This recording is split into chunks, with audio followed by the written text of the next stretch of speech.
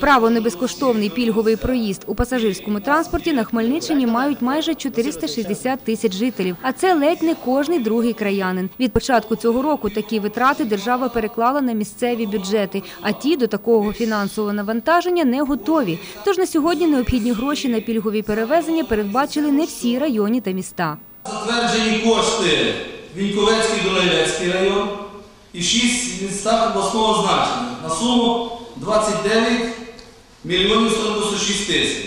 На чергових сесіях державних адміністрацій планується затвердити кошти в 9 районах Білогірському, Волочиському, Городоцькому, Красилівську, Кам'янську-Дільському, Летичівському, Новушську, Славутську, та 7 мільйонів і 1 десятина. Адресна допомога затверджена в Хмельницькому районі на суму 903 тисячі 70 700 гривень на перший квартал.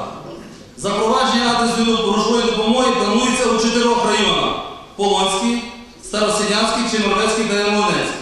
За приблизними підрахунками на забезпечення прав пільговиків місцеві бюджети мають витратити десятки мільйонів гривень. За нинішніх темпів наповнення скарбниць таких грошей просто немає. Якщо розраховувати, скільки потрібно коштів в місті передбачити, 10 мільйонів 211 тисяч 400 гривень. Скажіть, місто спроможне такі кошти виділити? Друге питання. Передали професійно-технічний ліцей 9 мільйонів гривень. Третє. Харчування дітей 3 мільйони 300 тисяч. На освіту не вистачає 5 мільйонів 500 тисяч. Ітого 29 мільйонів гривень. Нині розв'язати цю проблему на місцевому рівні неможливо, впевнені фінансисти. Так чи інак, державі доведеться втрутитися у ситуацію. Є два шляхи. Або обмежується на, ві- на зв'язку з тим, як економіка сьогодні практично в військовий період працює, або обмежується кількість е, пільговиків, або вишукується державного бюджету, тому що не робили в області, ми фінансового ресурсу щоб закрити 100% питання, знайти не зможемо.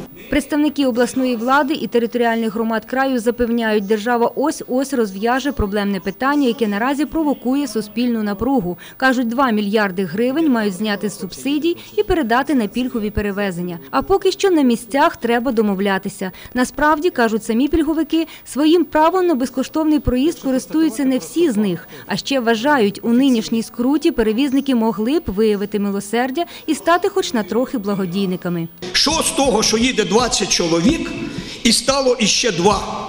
Да, трошки амортизації. Скільки я з моєю вагою замортизую автобус?